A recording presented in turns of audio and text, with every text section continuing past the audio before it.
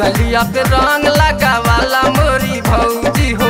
चोलिया में रंग डाला वाला मोरी भौजी हो। साल भर पे आइल बा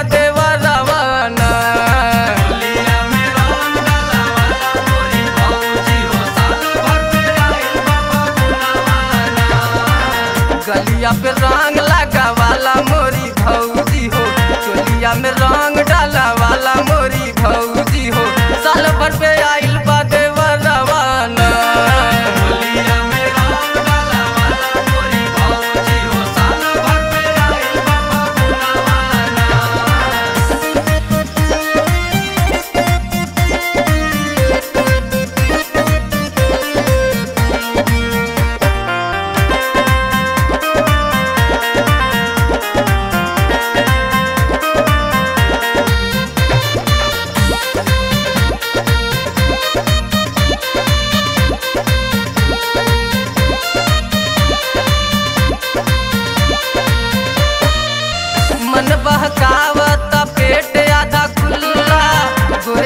गलिया लागे रसगुल्ला